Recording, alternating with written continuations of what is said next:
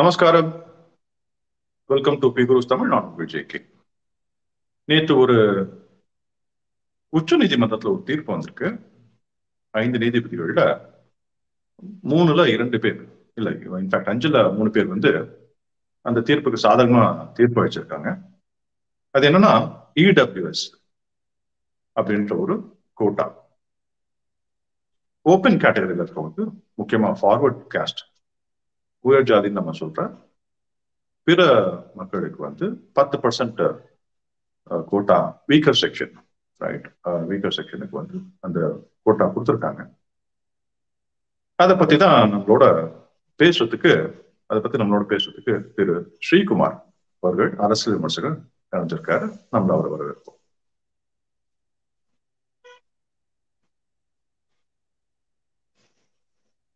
நமஸ்காரம் சார். நமஸ்காரம் எப்படி இருக்கீங்க நல்லா இருக்கேன் சௌக்கியமா இருக்கு ஸோ நேற்று தீர்ப்பை பத்தி நம்ம பார்ப்போம் இந்த தீர்ப்பு இந்த பத்து பர்சன்ட் சிலர் வந்து நான்கு நீதிபதிகள் அதை தீர்ப்பு கொடுத்துருக்காங்கன்னு சொல்றாங்க சிலர் வந்து மூணுல இருந்து மூணு பேர் ரெண்டு பேர் மூணு பேர் ஆதரவு ரெண்டு பேர் அதுக்கு எதிர்ப்பா சொல்லியிருக்காங்கன்னு சொல்றாங்க பட் கரெக்டான data I believe three is two கரெக்டா அனைவருக்கும் வணக்கம் இப்போ நீங்க சொன்ன மாதிரி இந்த ஜட்ஜ்மெண்ட் அப்படிங்கறத பாக்குறதுக்கு முன்னாடி இதோட பேக்ரவுண்ட வந்து ஒரு பிரீஃபா சொன்னா தி குருஸ் நேயர்களுக்கு ஒரு சௌரியமா இருக்கும் அப்படிங்கிற அடிப்படையில. இதோட ஒரு பிரீஃப் இன்ட்ரோடக்ஷனை நான் கொடுக்குறேன். ஏற்கனவே நம்ம இந்தியால ஜாதி ரீதியான ரிசர்வேஷன்ஸ் நடைமுறையில இருக்கு. இதுக்கு முன்னாடி எக்கனாமிக் பேஸ்டு ரிசர்வேஷன்ஸ் அப்படிங்கிறது கிடையாது. Social based reservations based on communities and caste அதுதான் வந்து நடைமுறையில இருக்கு. சோ இத வந்து ஆறாயிரத்துக்காக ரெண்டாயிரத்தி ஆறாவது வருஷம் அதாவது யூபிஏ கவர்மெண்ட்ல சின்ஹோ கமிட்டி அப்படிங்கிறத ஒண்ணு போட்டு இந்த எக்கனாமிக்கலி வீக்கர் செக்ஷனுக்கு என்ன பண்ணலாம் அப்படிங்கிறத ஏற்கனவே இருந்த ரிசர்வேஷன்ல இருந்து அதை டிஸ்டர்ப் பண்ணாம மிச்சம் இருக்கிற அவைலபிள் ரிசர்வேஷன்ஸ் எவ்வளவு அவைலபிள் எவ்வளவு இருக்கோ டேட்டா அதுல வந்து பண்றதுக்கு ஒரு ஒரு வயபிள் ஆப்ஷன்ஸ் என்ன இருக்கு அப்படிங்கிறத பாக்குறதுக்கு ஒரு ஆராய்ச்சி மேற்கொள்ளப்பட்டது. அவங்க அதை கம்ப்ளீட் பண்ணி அந்த ரிப்போர்ட்ஸை கொடுக்கறதுக்குள்ள ரெண்டாயிரத்தி பதினாலாவது வருஷம் ஆட்சி மாறி இருக்கு சோ அந்த நேரத்துல திரு நரேந்திர மோடி அவர்கள் வந்து பிரதமராக பொறுப்பேற்றுட்டார் அதுக்கப்புறம் அந்த கவர்மெண்ட்டுடைய மைண்ட்ல வந்து இந்த எக்கனாமிக்கலி பேக் வீக்கர் செக்ஷனுக்கு வந்து இது கொடுக்கணும் அப்படிங்கிற ஒரு எண்ணம் ஓட்டம் இருந்தாலும் ரெண்டாயிரத்தி பத்தொன்பதாவது வருஷம் ஜனவரியில வந்து இதை வந்து அவங்க சாத்தியப்படுத்தி. அப்போ ரெண்டாயிரத்தி பத்தொன்பதாவது வருஷம் ஜனவரி மாசம் ஒரு கேபினட் கமிட்டி அதுல கூடி அதுல வந்து இந்த பில்ல வந்து ஃப்ரேம் பண்ணி உடனே அடுத்த நாளே அதை பார்லிமெண்ட்டுக்கு கொண்டு வந்து முதல்ல லோக்சபால அதை நிறைவேற்றி அதுக்கப்புறம் ராஜ்யசபால அதை ஒரு நாள் கழித்து நிறைவேற்றி கெசட்ல அதை குடியரசுத் தலைவர் அதுக்கு ஒப்புதல் கொடுத்து கெசட்லயும் அதை வந்து அழைத்து பண்ணாங்க. இது எல்லாமே அந்த டயத்துல ஜனவரி மாதம் நடந்த ஒரு விஷயம். இதை எதிர்த்து உச்சநீதிமன்றத்துல இது வந்து ஒரு சோசியல் ஃபேப்ரிக்கு எதிரானது அப்படிங்கிறத அடிப்படையா வச்சு சில கட்சிகளும் சில கம்யூனிட்டிகளும் இத வந்து எடுத்துட்டு போய் அவங்க இது பண்ணாங்க. சுப்ரீம் கோர்ட்ல அதை ஆராய் அதை வந்து அந்த பிளீய வந்து அட்மிட் பண்ணிட்டு அதை வந்து அரசியல் சாசன அமர்வு கான்ஸ்டிடியூஷனல் பெஞ்சுக்கு வந்து அதை டிரான்ஸ்ஃபர் பண்ணாங்க. உச்ச நீதிமன்ற தலைமை நீதிபதியையும் உள்ளடக்கிய கான்ஸ்டிடியூஷனல் பெஞ்ச் அஞ்சு நீதிமன்ற பெஞ்சுக்கு வந்து இது கொண்டு போய் சேர்க்கப்பட்டது. அவங்க இத ஆராய்ச்சி பண்ணதுக்கு அப்புறம் ஒரு தீர்ப்பு கொடுத்தாங்க. நேத்திக்கு அந்த தீர்ப்பு அதாவது ஏழு நவம்பர் ரெண்டாயிரத்தி இருபத்தி ரெண்டாவது வருஷம் இந்த தீர்ப்பு வெளியாயிருக்கு. இந்த தீர்ப்புல இந்த எக்கனாமிக்கலி வீக்கர் செக்ஷன் அன்கான்ஸ்டிடியூஷனல் அப்படிங்கிறது எங்கேயுமே அந்த ஒரு பேசிக் பாயிண்ட்ல வந்து எல்லாருமே கண்கராறாங்க மேபி இது வந்து கான்ஸ்டிடியூஷனுக்கு எதிரானது அப்படிங்கிற ஒரு விஷயத்துல வந்து யாருமே அதை வந்து கோடிட்டு காட்டல. பட் அதுக்குள்ள இருக்கிற சில நுவான்சஸ் சில நெட்டிகிரிட்டி சில அம்சங்கள்ல சில கருத்து வேறுபாடுகள் இருக்கு. அதுல ஓவராலா இந்த எக்கனாமிக்கலி வீக்கர் செக்ஷனுடைய அந்த பில் அப்படிங்கிறது ஆஸ் இட் இஸ் மூன்று இஸ் டு இரண்டு அப்படிங்கிற ஒரு மெஜாரிட்டி பேஸ்ல இது வந்து ஒட்டுக்கொள்ளப்பட்டது. Uh, ஜஸ்டிஸ் லலித் தலைமை நீதிபதியும் uh, பட் அப்படிங்கிற நீதிபதியை தவிர பாக்கியம் இருக்கிற மூன்று நீதிபதிகளுமே இதுக்கு ஆதரவாக இதற்கு uh, வேலிடேட் பண்ணி இதுக்கு தீர்ப்பு கொடுத்திருக்காங்க. இதுதான் இதோடைய பிரீஃப் ஹிஸ்டரி ரைட் இப்போ நம்ம பொதுவாக என்ன கேள்விப்படுறோம்னா ஏடபிள்யூஎஸ் வந்து எக்கனாமிக்கலி வீக்கர் செக்ஷனுக்கு உண்டான அந்த கோட்டா அந்த ரிசர்வேஷன் எல்லா மாநிலங்களும் ஆதரிச்சு அந்தந்த மாநிலங்கள் அதை இம்ப்ளிமெண்ட் பண்ணியிருக்காங்கன்னு கேள்விப்படுறோம் தமிழ்நாட்டில் மட்டும்தான் ஒரு பிரச்சனையை அதை பார்க்குறோம். சரி அது முக்கியமா என்ன பார்க்குறோம்னா இது பிராமணர்களுக்கு உண்டான ஒரு ரிசர்வேஷன் அப்படின்னு ஒரு செய்தி பரப்பப்படுது. இது உண்மையா?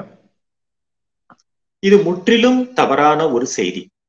ஏன்னா ஒரு பார்லிமெண்ட் அப்படிங்கும் போது அது வந்து இந்தியாவில் உள்ள அனைத்து மாநிலங்களையும் உள்ளடக்கிய ஒரு குரலின் ஒரு வெளிப்பாடு. அதுதான் பார்லிமெண்ட் பாராளுமன்றம் அப்படின்னு சொல்றோம். அதுல வந்து டிபேட்டுக்கு அப்புறம் தான் இந்த பில் வந்து ஒரு ஆக்டா பாஸ் ஆகுது. அதுல எல்லாரும் அதுல பேசுறாங்க.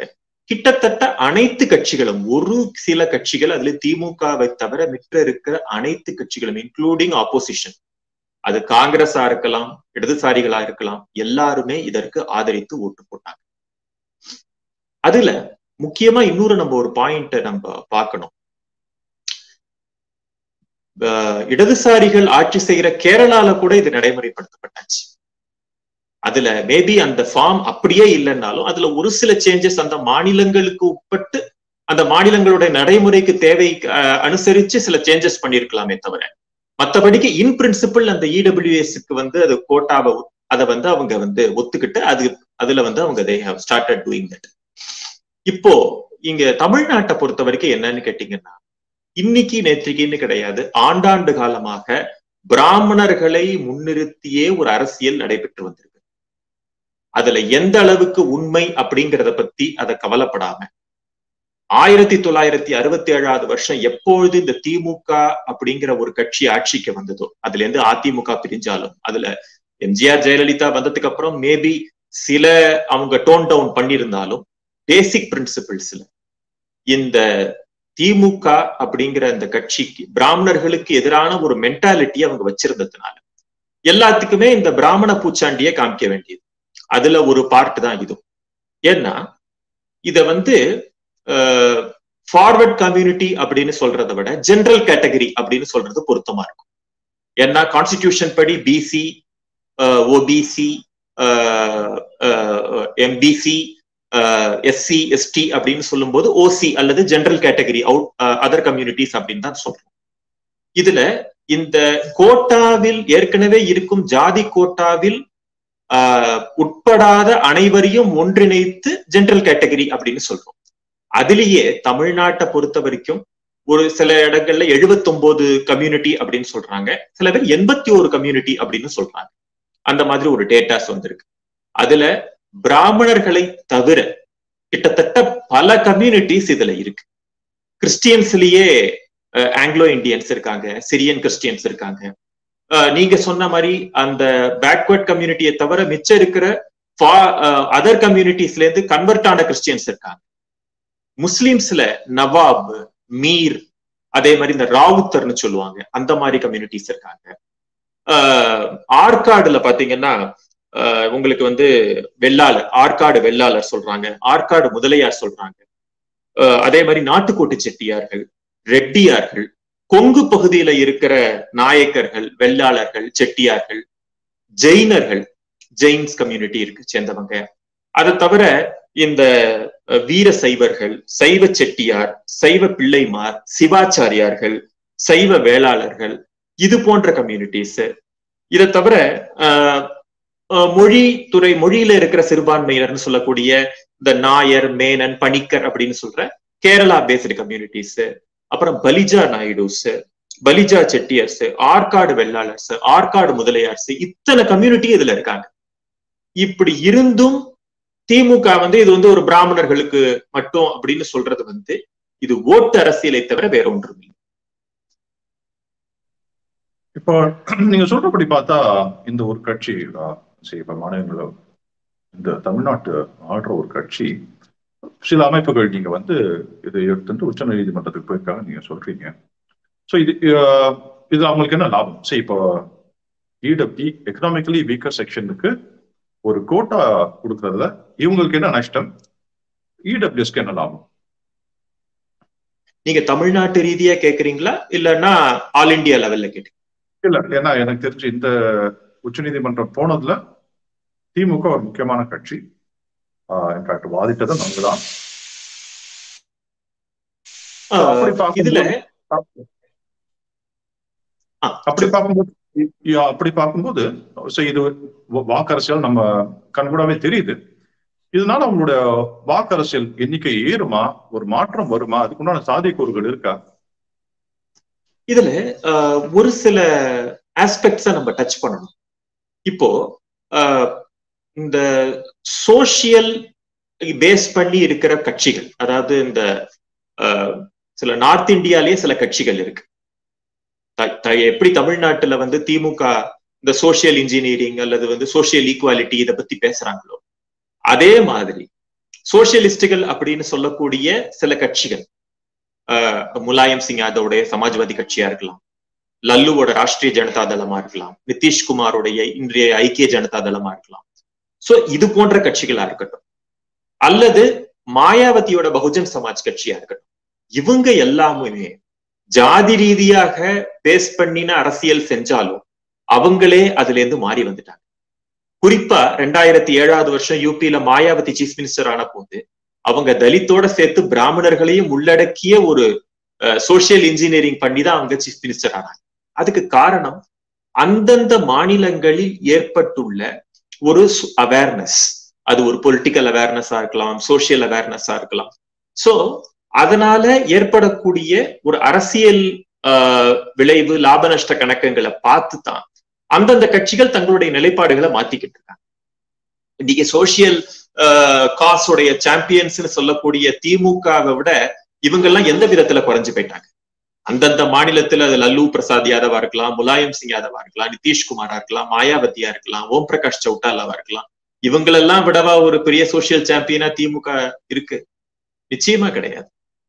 அப்படிங்கிற போது இப்ப தேவை என்னன்னா தமிழ்நாட்டை பொறுத்த வரைக்கும் அந்த அளவுக்கு ஒரு அரசியல் அவேர்னஸ் அப்படிங்கிறது எல்லா கம்யூனிட்டிஸுக்கும் மத்தியிலையும் வரணும். ரெண்டு விதமான அவேர்னஸ் வரணும்னு ஆஹ், நான் வந்து எதிர்பார்க்கிறேன்.